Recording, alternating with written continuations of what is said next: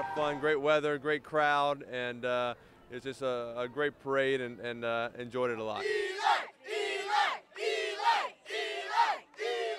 I'm going to enjoy this victory with my teammates, with my coaches. Uh, you know, looking forward to getting back to New York and, and spending some time with them, and then uh, we'll, we'll, get to enjoy being world champions for about six months, and then it's going to be, hey, we got another season. We got to try to compete and, and, and, you know get better, improve on some things, and so I, I still uh, hopefully have a long career ahead of me.